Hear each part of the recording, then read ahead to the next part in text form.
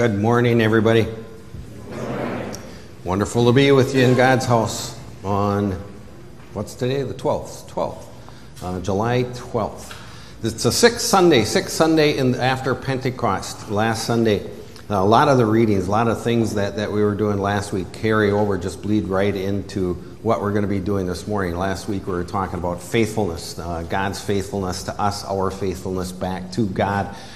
And then part of that, what we're talking about today, is our faithfulness to God. We call that the big fancy word sanctification. How we show our thanks to God, our sanctified lives, our holy lives. And, and there are consequences, uh, positive and, and also sometimes some negative consequences to living sanctified, God pleasing Christian lives. And so keep that in mind as we go through our worship. I, I apologize to our, our media folks being so rude. Let's welcome, let's welcome those folks listening on radio, those folks uh, watching on the internet stuff. Uh, we do this. We had a few guests here this morning. All I do is say one, two, three. Good morning, media. That's all we do. Say that. Okay, let's say that together. Here we go. One, two, three. Good morning, media. It's amazing how many how many people uh, all over the country do that. So follow along with us. So it's a cool thing. Cool thing to have everybody along.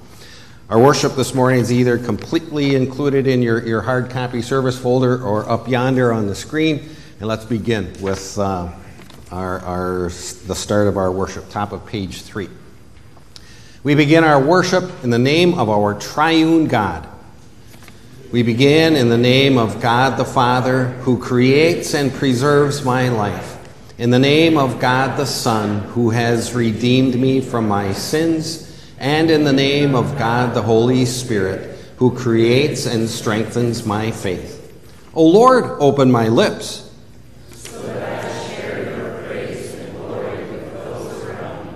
Give glory to God, who loves us with an everlasting love.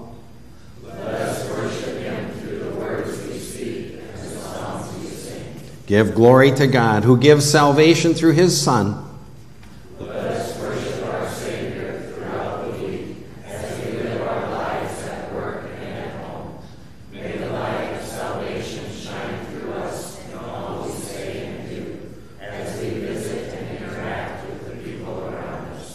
We are gathered to worship God who made us and who loves us, the God who forgives us through Jesus and who feeds our faith through the gospel.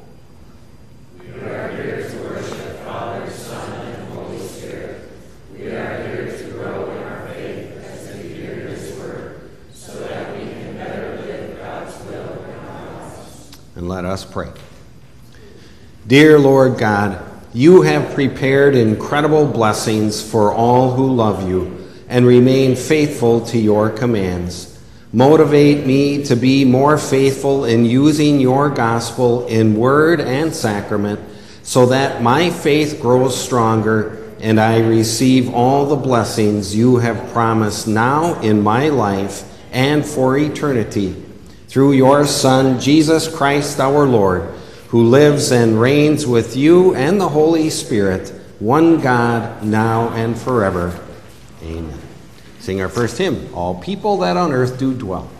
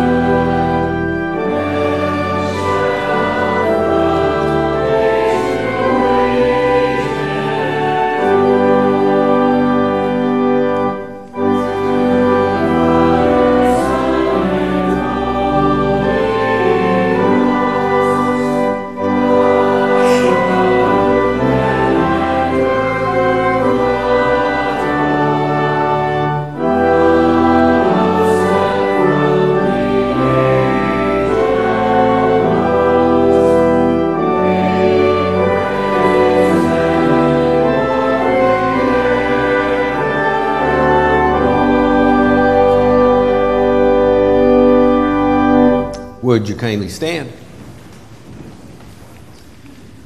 Dear friends in Christ, confession has two parts.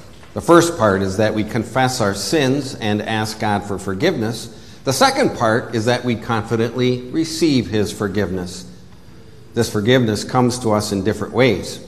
As I read God's Word and His promises on my own, through the assurance of another Christian, and it also happens through the pastor in this service. Satan and our sinful natures want us to deny the reality and existence of our own sinfulness. Therefore, our Lord gave us his law to be used as a mirror so we see our sins and our need for a Savior. Using the mirror of God's law, I examine myself by asking, How well have I carried out my responsibilities as a husband or wife or single person? As a parent or child, an employer or employee, a teacher or student? Have I loved God with all my heart, gladly heard his word, and patiently endured troubles? Have I been disobedient, proud, or unforgiving? Have I been selfish, lazy, envious, or quarrelsome? Have I lied or deceived and taken something not mine? Have I abused my mind and body with lustful thoughts and actions? Have I failed to defend someone else's reputation in his or her absence? When we test our thoughts, conversations, and actions according to the truths in God's holy word, what blunt and honest answer do we find? We know from James chapter 2 verse 10 Whoever keeps the whole law and yet stumbles at just one point is guilty of breaking all of it. Therefore, we join with the tax collector who said in Luke chapter 18, verse 13, God have mercy on me, a sinner. As a called servant of Christ, it is my privilege and responsibility to publicly use the keys which Christ has given to all his children to forgive the sins of penitent sinners, but to refuse forgiveness to the impenitent as long as they do not repent. With penitent hearts, then, let us confess our sins. Almighty God, merciful Father, I, a troubled and repentant sinner, confess that I have sinned against you in my thoughts, words, and actions. I have not loved you with my whole heart. I have not loved others as much as I love myself. I am ashamed and tormented by the sins which I know of, as well as those which I do not know. Heavenly Father, please forgive all my sins and strengthen me so that I change my sinful habits and live my life for your glory and not my own. Dear friends, as a called servant of Christ, I also have the grateful joy of reminding you of God's love and mercy. Our Lord Jesus Christ has forgiven us and reconciled us to himself and promised us the power to forgive and love each other. Relying on his promise and in the name of Jesus Christ, I forgive you all your sins. The peace of God's mercy is with us. May that peace rule in our hearts and guide all our thoughts, the words we speak, and everything we do. Amen. We respond to God's grace, top of page 6.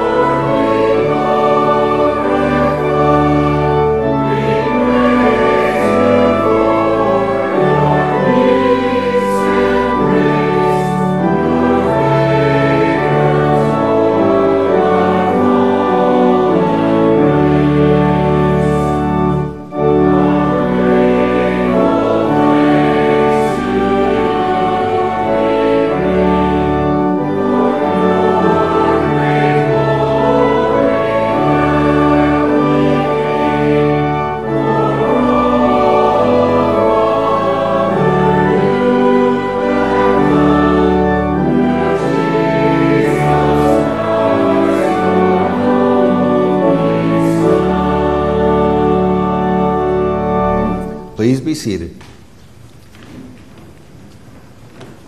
Our first scripture lesson this morning, the sixth Sunday after Pentecost, comes from the Old Testament, Jeremiah. I mentioned before church that a lot of our readings, especially Old Testament and our gospel lessons, have, have been coming from Jeremiah, have been coming from the Gospel of St. Matthew. And I've shared with you before this summary of Joshua or Jeremiah's ministry was, was not so fun all the time because the vast majority of the Old Testament book of Jeremiah is Jeremiah wagging his fingers at the disobedience of the Jews. They fell away from God, and God sent Jeremiah be, to, to them to say, Because you are disobedient, here are the negative consequences. You're going to be conquered by the Babylonians. King Nebuchadnezzar is referred to in here. You're going to be carried off into exile. But now, part of Joshua's ministry, uh, Jeremiah's ministry continues that he says God doesn't forget his promises. After the 70 year exile, the Jews would be returned. God will lead them back to Jerusalem, back to Judah, and, and rebuild the temple, etc. So that's what Jeremiah is talking about here. The good news that, yeah, okay, sorry to say you're going to go to exile, but the good news, God will bring you back. Jeremiah chapter 28. In the fifth month of that same year, the fourth year, early in the reign of Zedekiah, king of Judah, the prophet Hananiah, son of Azzur, who was from Gibeon, said to me in the house of the Lord in the presence of the priests and all the people This is what the Lord Almighty, the God of Israel, says I will break the yoke of the king of Babylon. Within two years, I will bring back to this place all the articles of the Lord's house that Nebuchadnezzar, king of Babylon, removed from here and took to Babylon. I will also bring back to this place Jehoiachin, son of Jehoiakim, king of Judah, and all the other exiles from Judah who went to Babylon, declares the Lord. For I will break the yoke of the king of Babylon. Then the prophet Jeremiah replied to the prophet Hananiah before the priests and all the people who were standing in the house of the Lord. He said, Amen. May the Lord do so. May the Lord fulfill the words you have prophesied by bringing the articles of the Lord's house and all the exiles back to this place from Babylon. Nevertheless, listen to what I have to say in your hearing and in the hearing of all the people. From early times, the prophets who preceded you and me have prophesied war, disaster, and plague against many countries and great kingdoms. But the prophet who prophesies peace will be recognized as one truly sent by the Lord only if his prediction comes true. It's the end of our first scripture lesson. Let's sing our psalm this morning, Psalm 89. Let's sing it responsively, singing the refrains together. I'll take the first line. I'm the P, I'm the pastor, you the C, the congregation, and we'll all sing the Gloria Patri and the refrains together. Psalm 89.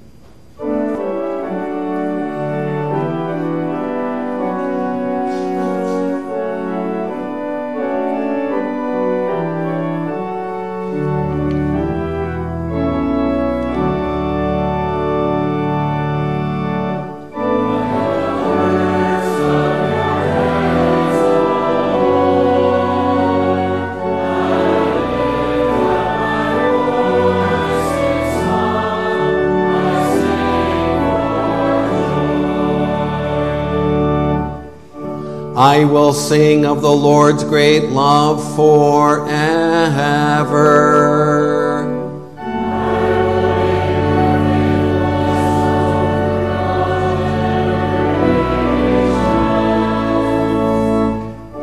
I will declare that your love stands firm forever.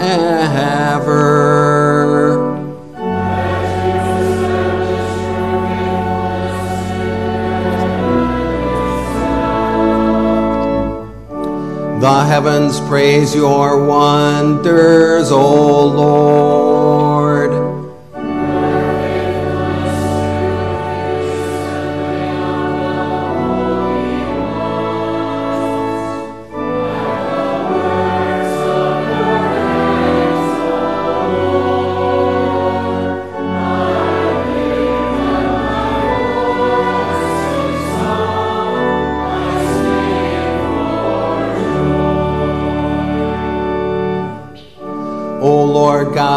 Almighty, who is like you.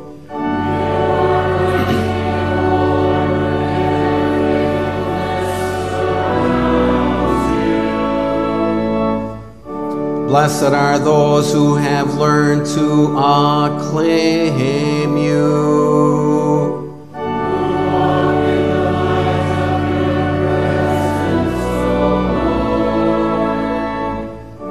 They rejoice in your name all day long.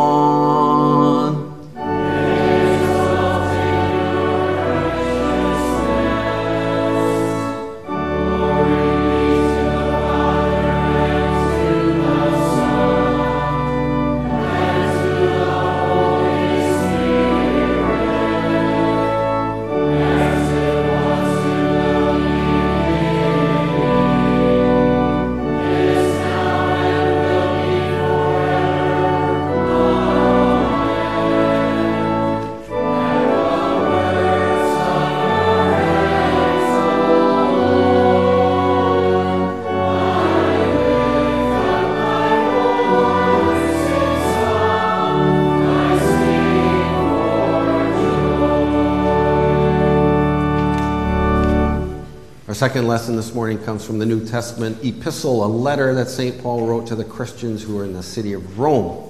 Book of Romans, chapter 6, that Paul is confronting a very logical thought, a very logical conclusion. That isn't it true that when we sin, when we ask God for forgiveness, we receive his grace? It's true. Now, if you take that logically, you can understand where the Romans, some of the Romans were coming from. They said, boy, if we sin more and we ask for God's forgiveness more, doesn't that mean we're going to get more grace? And so they say, why stop sinning? We'll just receive more and more of God's grace anyway. And this is where Paul says, no. When it comes to sanctification, when it comes to living Christian lives, we die to sin through faith. We say that's, that's where this, this whole growing in faith and increasing our knowledge of God's word and God's will plays in our life so that we stop those sinful lives. We're going to receive God's grace regardless. We have that grace through faith. And so Paul says, no, we stop sinning as a consequence of God's faithfulness to us. So we read this morning Romans chapter 6.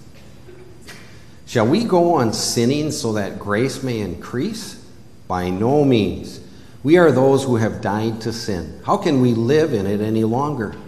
Or don't you know that all of us who were baptized into Christ Jesus were baptized into his death? We were therefore buried with him through baptism into death, in order that, just as Christ was raised from the dead through the glory of the Father, we too may live a new life. For if we have been united with him in a death like this, we will certainly also be united with him in a resurrection like this.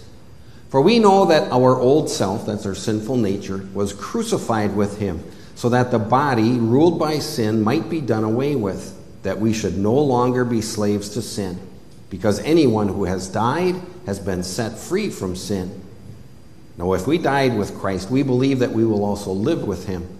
For we know that since Christ was raised from the dead, he cannot die again. Death no longer has mastery over him. The death he died, he died to sin once for all. But the life he lives, he lives to God. In the same way, count yourselves dead to sin, but alive to God in Christ Jesus. Therefore, do not let sin reign in your mortal body so that you obey its evil desires.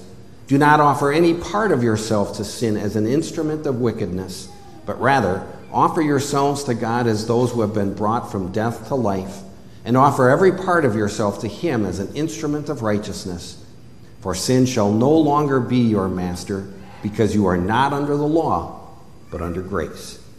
That's the end of our second scripture lesson. Let's join together and confess to the world, confess to all the people around us what is it that we believe has been accomplished for our salvation. God the Father, God the Son, God the Holy Spirit, all working together to give me, us, grace and forgiveness. Let's join. I believe the Bible teaches us that there is one God, yet that one God is also three distinct persons who all work together for the salvation of my soul. I believe in God the Father Almighty, who made the universe and all it contains, and sustains it with his mighty power. He gave me my life so that I may learn about my Savior Jesus and be saved for eternity. I believe in Jesus Christ, his one and only Son, who reconciled lost mankind to the Father through his perfect life sacrificial death, and glorious resurrection. I believe in God the Holy Spirit, who gathers and strengthens sinners into God's forgiven family, which we call the church. He creates saving faith in a person's heart through the faithful use of the gospel in word and sacrament. Even though I do not understand how three persons are still one God, through faith I believe this gracious truth, and I thank and praise this gracious triune God. We sing our next hymn, Love Divine, All Love Excelling.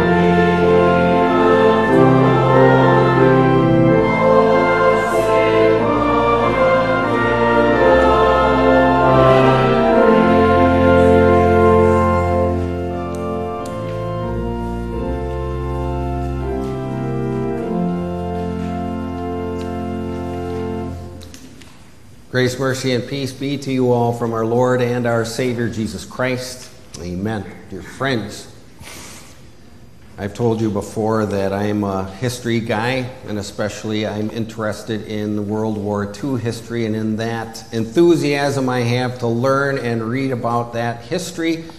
I have learned a lot of different names and titles for military vehicles. I think, especially this morning, of military aircraft. You think of all the aircraft that different nations in World War II used in the fighting of that war.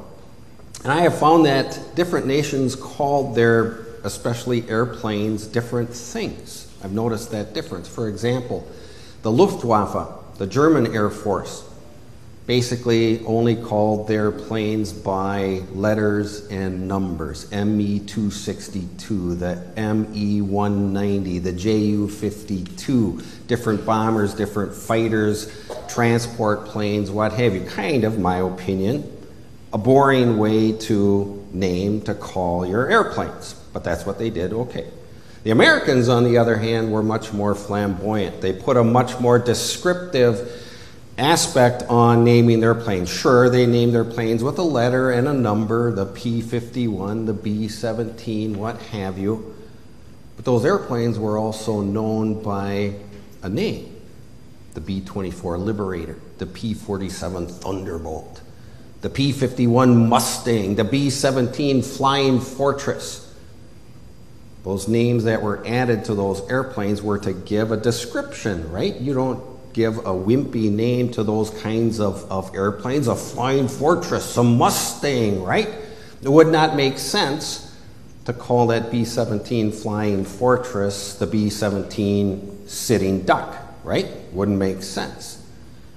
Or you don't call that P 51 Mustang the fast, sleek, agile fighter. You don't call it the P 51 old nag, right? The Mustang, the Flying Fortress. They're very positive descriptions to those aircraft. Now, you think of all the names that go along with Jesus Jesus Christ, our Savior from sin. You think of all the descriptions that go along with Jesus. I would say most people, including ourselves, primarily and probably first, think of Jesus that very positive, wonderful, loving, merciful side, right? You think of a name like Emmanuel, God with us. You think of Jesus' name, the Prince of Peace. All of the wonderful, positive things that our Savior Jesus has done for us. And I won't deny that. Won't deny it at all. Wonderful truths to remember. But isn't it also true that our whole triune God, those three persons that we just confessed before, that our whole triune God our Savior Jesus Christ, also included in that Trinity, had another side, had a flip side to that coin. It's not all about love and mercy and forgiveness because our God also is a vengeful God. We see throughout Jesus' life and his ministry that when he needed to be firm, he was very firm. And so we look at Jesus Christ and his mission. We look at Jesus Christ at what he has done to us. And we look at that name, Jesus Christ, the Prince of Peace. Then we add a little bit to that, also carries a sword. The Prince of Peace, Jesus Christ, carries a sword. And we see in our text here as Jesus continues to teach his disciples, we see in our text that Jesus Christ, the Prince of Peace, who carries a sword, uses that sword to fulfill, to carry out his mission. But then we also see that Jesus Christ, the Prince of Peace, who carries a sword, also carries that sword for us as we carry out our own individual Christian missions as well. Would you follow along as we go through our text from the Gospel of St. Matthew, chapter 10? Jesus says, Do not suppose that I have come to bring peace to the earth. I did not come to bring peace but a sword. For I have come to turn a man against his father, a daughter against her mother, a daughter in law against her mother in law. A man's enemies will be the members of his own household. Anyone who loves their father or mother more than me is not worthy of me. Anyone who loves their son or daughter more than me is not worthy of me. Whoever does not take up their cross and follow me is not worthy of me. Whoever finds their life will lose it, and whoever loses their life for my sake will find it. Anyone who welcomes you welcomes me, and anyone who welcomes me welcomes the one who sent me. Whoever welcomes a prophet as a prophet will receive a prophet's reward, and whoever welcomes a righteous person as a righteous person will receive a righteous person's reward. And if anyone gives even a cup of cold water to one of these little ones who is my disciple, truly I tell you, that person certainly will not lose their reward. And that's our text. I mentioned before, this Matthew 10 section is a direct follow up We ended, we ended last uh, week's gospel lesson of the sermon meditation with the me- verses immediately before this. And in this Matthew chapter 10, the context is that Jesus is sending out his 12 disciples on a mission trip. This isn't a, a, mission trip that's more a vacation. Jesus didn't, make, didn't say to make sure that his disciples remem- remember to bring their swimming suits because they're going to have a lot of fun on this mission trip.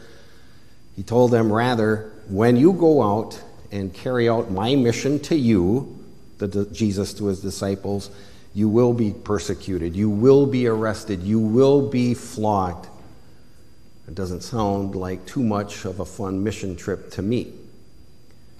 But in this process, Jesus is saying, here is the purpose of this mission trip to you to proclaim what Jesus Christ is all about, to proclaim this name of Jesus, what he is all about, why he is here, to carry out a mission, right? Jesus wasn't here just to hang out with us sinners, he was here to do something. And this is where a lot of people would misunderstand who Jesus was and what he was all about, even including his disciples time after time, as we see in the Gospels. Yet Jesus says, Here is the word, here is the mission, here is what you are to proclaim. This is where we get into that side, that picture, that reality of Jesus that sometimes a lot of people forget.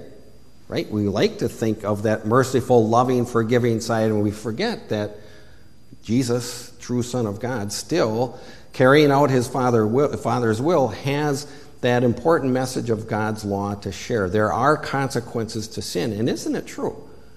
That when Jesus needed to call a spade a spade, whether it was the Pharisees, whether it was his own disciples, he was very blunt with some very harsh words to call the Pharisees, you brood of vipers, you bunch of snakes.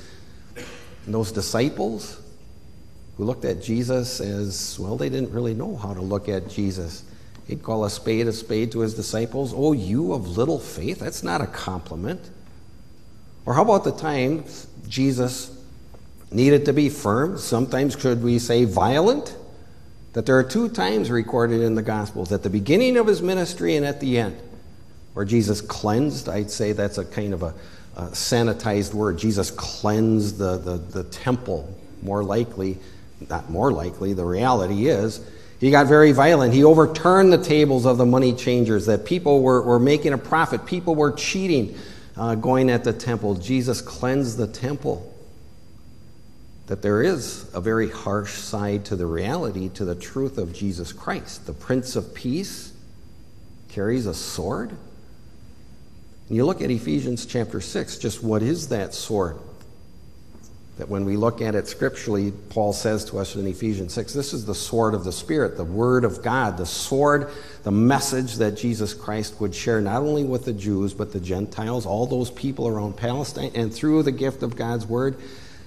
That sword, the gift of the sword, the Holy Spirit, the same word, the same message that we have in that written book we call the Bible.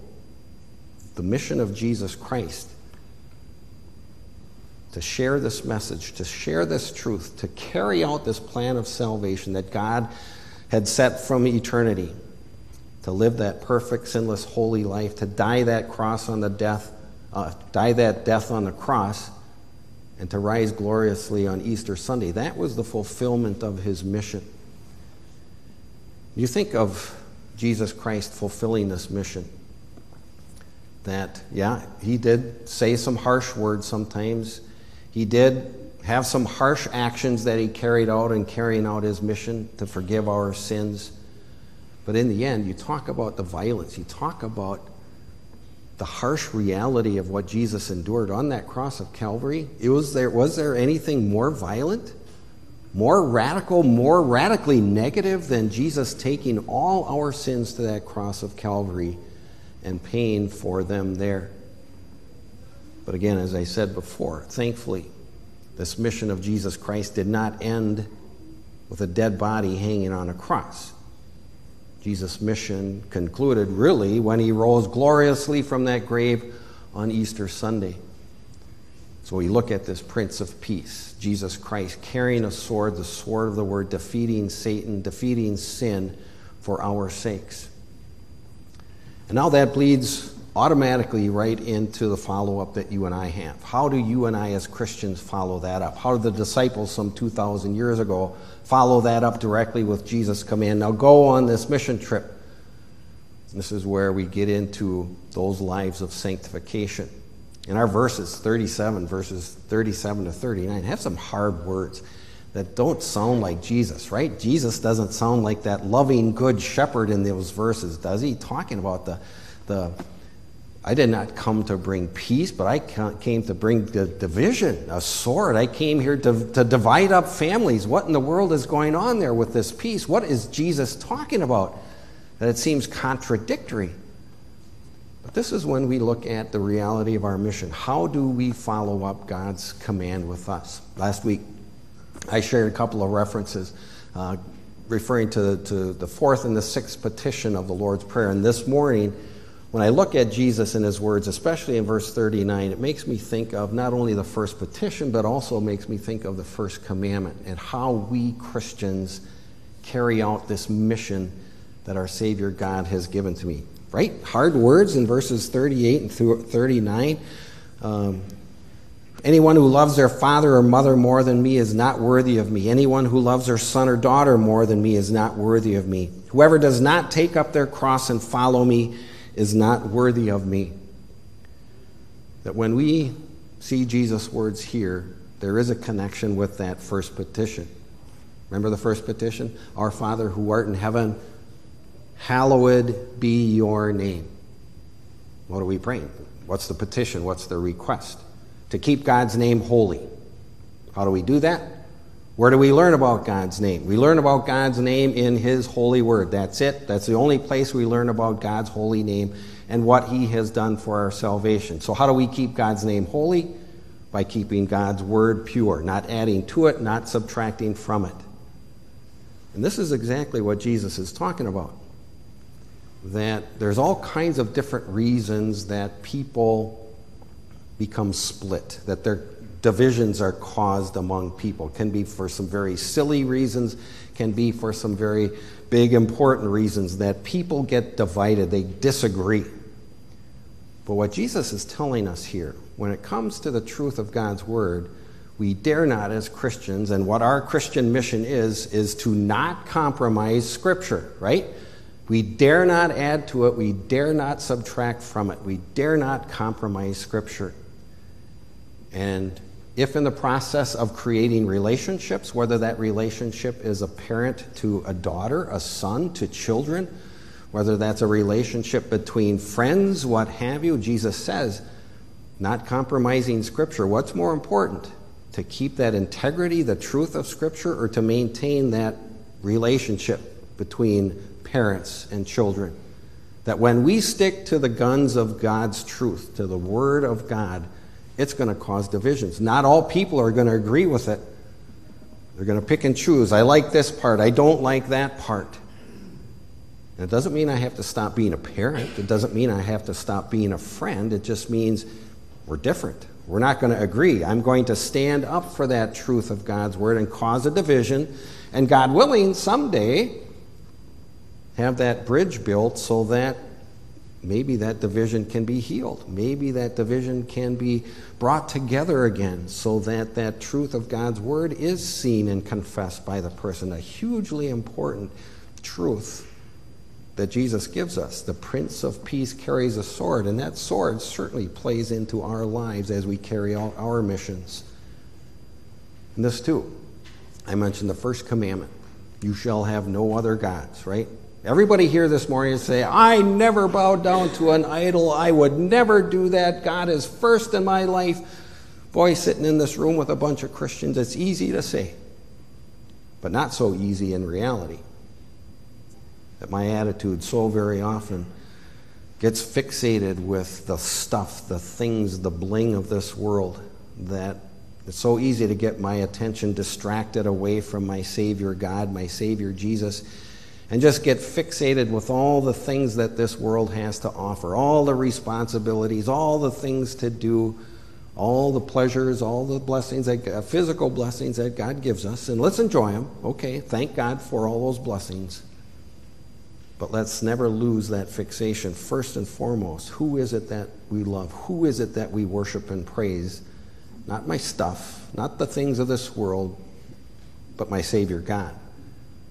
Because He's accomplished everything for my salvation. He's the one who's given me all that stuff that I can enjoy and humbly use and humbly thank Him for. But in the end, that's what Jesus is talking about in verse 39. Whoever finds life will lose it, and whoever loses his life will find it. Sounds kind of contradictory, but he's talking about this earthly life. I think of verse 39 and Jesus' parable of the rich young man, the rich farmer. Remember that in Luke chapter 12 that he grew all kinds of crops and he had such a bumper crops and he, he said, I'm going to build more barns so I can store it. I'm going to save all this stuff and I don't have to work anymore. I'm going to eat, drink, and be merry. Life, I have life to the fullest. What happened? God took his life that night. Whoever finds his life will lose it, and whoever loses his life will find it. That when we do not, as Christians, make this life our first and foremost priority, we make our Savior God our first and foremost priority, there is the mission. There is the mission that our Savior God has given to us. So that I have that saving faith and I can reach eternal life in heaven, but then also so that I share that saving faith with the people around me. It's a twofold mission, right? For me, so that I get to home to heaven, so that as many of you, as many as my neighbors also, get home to heaven as well. The peace, the peace of forgiveness, the peace that our Savior Jesus has won for us. That's the mission that Jesus did for us and accomplished for us. That's the mission that we have to carry out. So, peace. Wonderful blessing. Wonderful thing, right? To have peace in a family. I don't take that for granted anymore. It's what a wonderful thing it is to go to a family reunion and have peace and not have to worry about Uncle Harry and making a big scene about a family reunion. Peace and family, wonderful thing. Peace in a community. Aren't we thankful for the means that we have peace in our community? Thankful for that blessing. Peace as a nation for the most part, right? Not at war. Peace as a nation. We need to have some discussions. We need to have some improvement on some of the peace going on in our nation right now. But that's just physical peace. Dear friends, no matter what's going on around us, no matter what's going on in my personal life, or the community, or the nation, or the world, dear friends, we have the peace. Peace won for us by the peacemaker, Jesus Christ, the peacemaker who bears the sword, who has the sword of that holy word, which teaches us that way to salvation. The Prince of Peace carries a sword. He fulfills his mission so that we get to go to heaven. And now also we have that mission to fulfill as well until we get there as well. The peacemaker carries a sword. Amen. Would you kindly stand?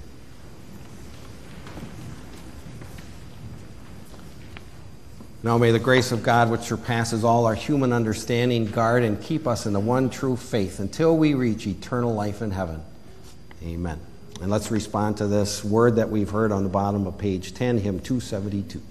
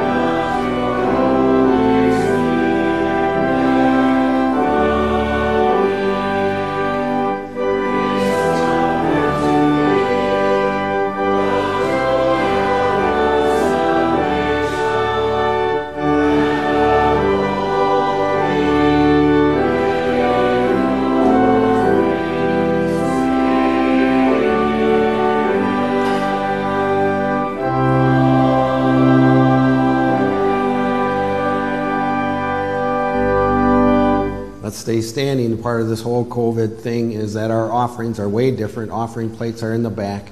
Uh, if you haven't already, uh, as you came in, just please uh, leave your thank offerings in, in, either on this side or the west side too. Uh, and let's continue with our responsive prayer there on page 11. We pray. Dear Heavenly Father, we join in thanking you for giving us life and breath, talents and energy, and all that we are and have during this earthly life. We are grateful to you for our saved house, the angels you send to serve and protect us and for our prosperity. Lord Jesus, we praise you for saving us and giving your life as the payment for our sins.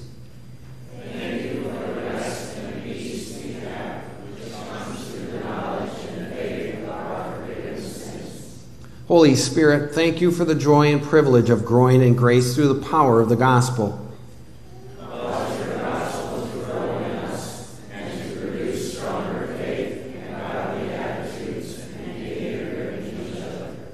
We rejoice this morning for the blessing of Christian friendship and fellowship. Keep us all faithful to the Christian duties you have given us through our families and jobs and free time.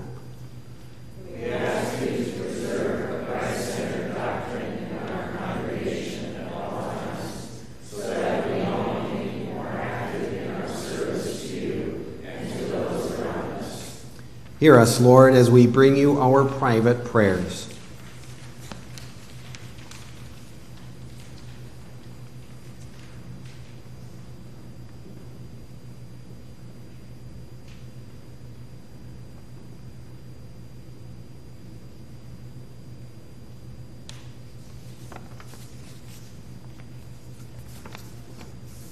Make us more aware to see the spiritual dangers facing those who do not yet trust in you as the one and only Savior from sin.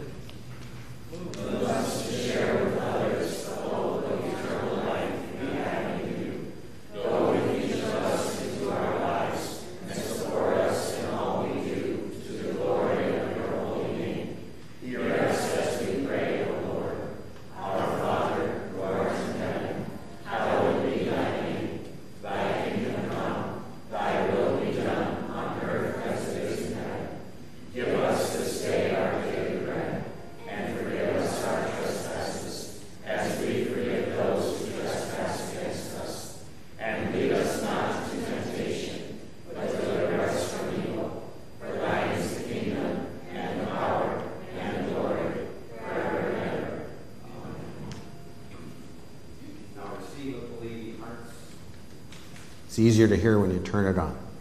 And now receive with believing hearts the blessing of our Lord. The Lord bless you and keep you. The Lord make his face shine on you and be gracious to you. The Lord look on you with favor and give you peace. Amen.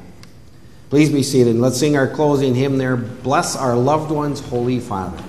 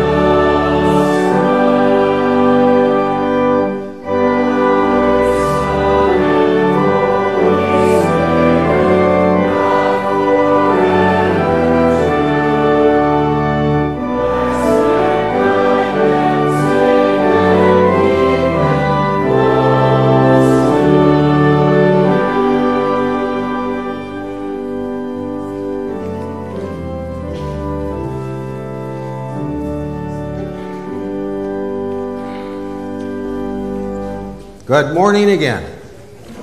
Thank you so much. I uh, just pointing out one thing in the in the bulletin, number five there, uh, August second. Gonna be a couple couple of weeks yet, but uh, cool day. This is this is part of that that was whole all affected by the COVID reality, and uh, just a cool day. So I, I would say. Uh, if you get a chance, if you're going to mark one of the Sundays to, to be here and meet some people and, and be part of this thing, um, it's a, it's a wonderful blessing from our God to, to bring in some, some of these new folks. And, and, and one of them, Alex, uh, will be uh, baptized as an adult. You don't see that very often. And uh, uh just a, it's a neat thing, uh, neat thing. And so for you to, to be part of it and, and introduce yourselves to them for the first time if you haven't already, just kindly put August 2nd on your, on your uh, calendars. Uh, thanks, thanks, Diane. And, and all the I, I, said this last night. Shame on me for, for not saying this more often of, of all the things that go on so that a, a church service like this happens with radio and internet and that thing and organ and ushers. A lot of working, a lot of moving parts to this. And so a guy like Daryl Duso moving the cameras around for this, and the radio. I think it was Damon and Ron. No, Ron. No, there's Ron. Who was it? Lefty. Lefty was up there. Is up there. Katie. Uh, uh, so many things to, to be thankful for as a congregation so that, so that we can do what we do on a Sunday morning. Sometimes I, we take that for granted. So let's not, let's not do that. Help remind me to, thanks, guys, for all that, that you do up there and down here, too. Uh, think that's what I've got for you. Blessings. Blessings on your Sundays. Uh, blessings on your weeks as you live, as we live, to, to serve God first and foremost, but then also to serve one another. Good morning. Ah, right, the ushering out, right? The east side first, from back to the front, then we'll do the west side back to front too. So, COVID. I'm ready for it to be done. All right. Blessings on your weeks.